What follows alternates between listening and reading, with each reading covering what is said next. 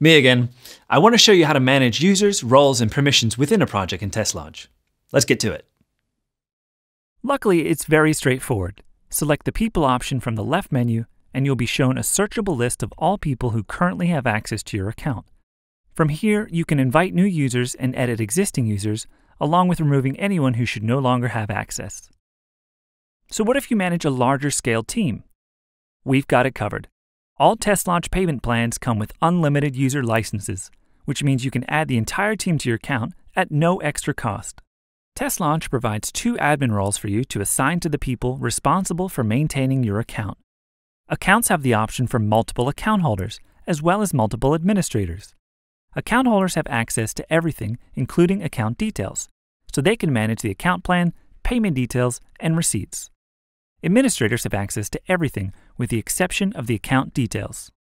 To assign a role, click either the Account Holder or Administrator button that can be found nested under the People link in the side menu. Select the person to assign this role to and click Grant Privileges.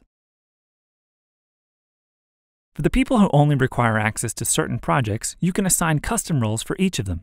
To do this, you'll first need to review your current roles, which can be found by selecting the Custom Roles link.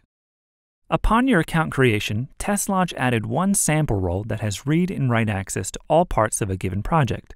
When you choose to add a new role, you're provided with the read and write option, read only, and no access, and a different permission can be assigned to test plans, requirements, test suites, and cases, along with test runs. You can edit and remove these roles at any time. Once you're happy with the roles, you can assign them to your chosen users in two ways. Firstly, you can edit a single user's project access and select a role for each one they should have access to. Or alternatively, you can assign multiple people to a single project at the same time by managing the project team and selecting who should have access. So, that's our quick overview on how to manage users as well as defining and assigning custom user roles. Check out our other videos for more TestLodge tips.